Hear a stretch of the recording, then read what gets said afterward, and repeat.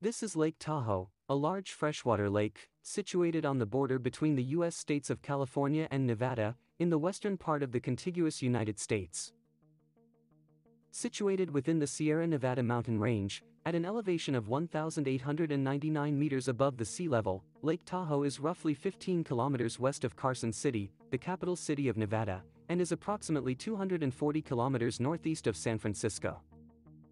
The lake is split between California and Nevada, approximately two thirds of the lake lies in California, while the remaining one third lies within Nevada. Lake Tahoe was formed about 2 million years ago, during the early Pleistocene epoch, through a combination of tectonic, volcanic, and glacial processes. The lake covers an area of roughly 500 square kilometers, making it the largest freshwater lake in the Sierra Nevada range, and the largest alpine lake in North America. The lake is approximately 35 kilometers long and has a maximum width of 19 kilometers, with a total shoreline length of 116 kilometers. One of the key features of Lake Tahoe is its immense depth. The lake has an average depth of 305 meters, and with a maximum depth of 501 meters, it is the fourth deepest lake in North America and the second deepest lake within the United States, after Oregon's Crater Lake, which has a maximum depth of roughly 594 meters. Lake Tahoe's great depth gives it an enormous water volume, about 150 cubic kilometers, or roughly 39 trillion gallons. This makes it the largest lake by volume in the United States outside of the five Great Lakes. To put this size into perspective, it holds enough water to cover the entire state of Texas with about one foot of water, or, it could cover the entire state of California with approximately 14.5 inches of water.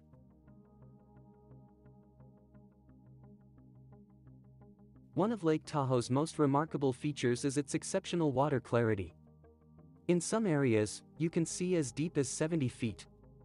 In the 1960s, the clarity was around 100 feet.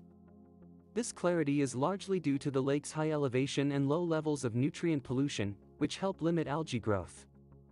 The lake's clarity and color are so distinct that NASA has used satellite imaging of Tahoe to calibrate sensors for monitoring water clarity on Earth and even on other planets. Due to its deep and clear water, Lake Tahoe was also an important test site during the Cold War, when it was used by the U.S. Navy for submarine and torpedo tests. Lake Tahoe's watershed is essential for providing clean drinking water to millions of people in California and Nevada. The lake's drainage basin covers an area of roughly 1,310 square kilometers. Over 63 rivers and streams flow into Lake Tahoe, the largest being the Upper Truckee River. The nearby Fallen Leaf Lake also drains into Lake Tahoe via the Taylor Creek.